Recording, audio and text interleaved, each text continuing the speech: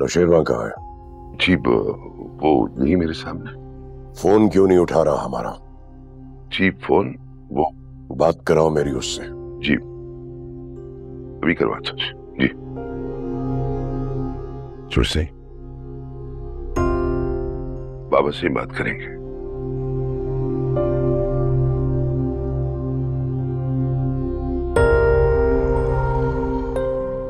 सलामकुम बाबा सिंह तो शर्मा इस वक्त तुम कहाँ हो? मैं एक ज़रूरी काम से कहीं आया हुआ हूँ। सब खैरियत है? अभी के अभी तुम हवेली के लिए निकलो। और हमसे आके मिलो। इस वक्त? तुमने सुना नहीं है मैंने क्या कहा? नहीं आ, मैंने सुन लिया लेकिन मैं कल किसी वक्त चक्कर लगा लू। आज कोई खास मसरूफियत है। आज कुछ खास काम है। तुम्हारे खास काम हमारे हुक्म से बढ़कर हो गए क्या? ऐसा क्या काम आ गया बाबा साई को? जी मैं आता हूँ। मुंतजिर हैं हम। फ़ौरन पहुंचो।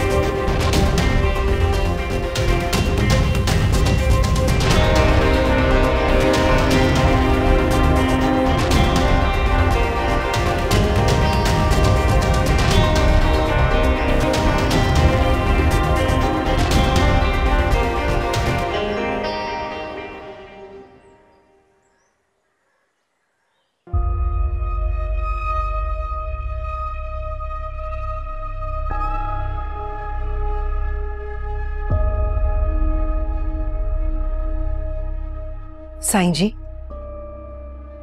आपका पैगाम मिलते ही चले आए हम। सब खैर तो है ना?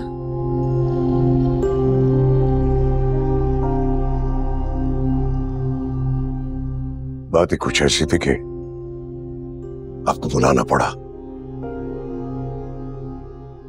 आप भी कोशिश कीजिएगा कि कश्माला तक ये बात ना पहुँचे। ऐसा क्या हो गया जो आप इतनी हदबंदी कर रहे हैं? आप इतने परेशान क्यों लग रहे हैं? बैठिए।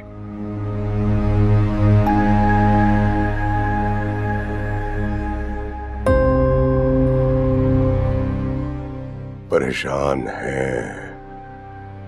इसीलिए लग रहे हैं। खुदा खैर करे। बड़ी बड़ी बातों पर आपको इतना परेशान कभी नहीं देखा। आखिर ऐसा क्या हो गया है? हम नौशेरवा की तरफ़ से बहुत परेशान हैं। मगर क्यों? वो तो हमारा बहुत समझदार बेटा है। इसी बात का तो अफसोस है कि हमें उससे किसी ऐसी बात की तो नहीं थी।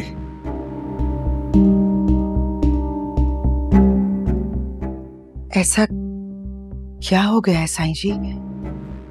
जो आप उससे इतने बदजन हो रहे हैं? नौशेरवा ने सुनहरा के बंगले के चक्कर लगाने शुरू कर दिए।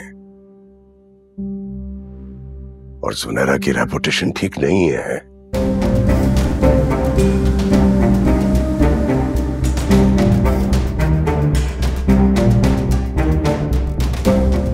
शेरवा तो बहुत पुरतबार है।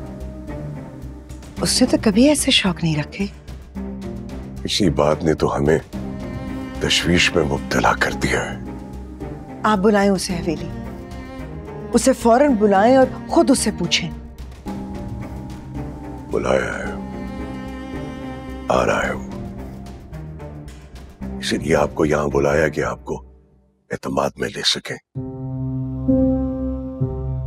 उसके सामने जो भी बात होगी उसे बड़े तहमुल से सुनिएगा।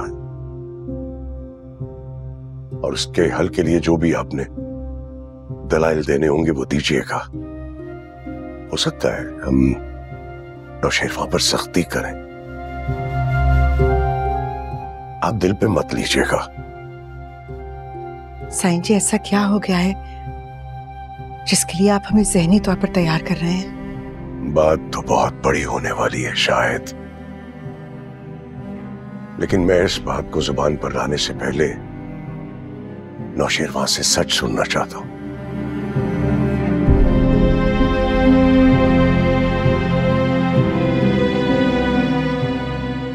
आपका जो भी फैसला होगा, हम आपके साथ खड़े हैं। बस एक बात का ख्याल कीजिएगा।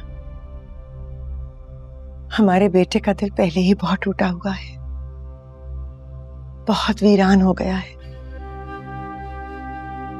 जवार की मौत के बाद हमने जो कुर्बानी उससे ली थी, उसके बाद हम उससे आँख मिलाने का हौसला नहीं रखते।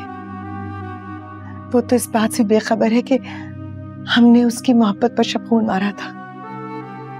उसकी ये उदासी देखकर हमें बहुत बेचैनी होती है। यही एक ख्याल है। जो हमें नौशेरवान पर सख्ती करने से रोक देता है।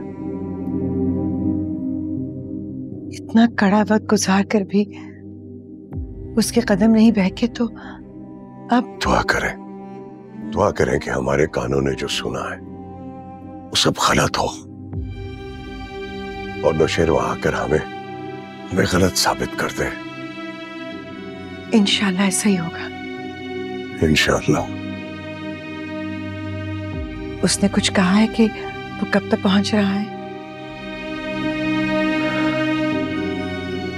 अब तक तो वो निकल पड़ा होगा।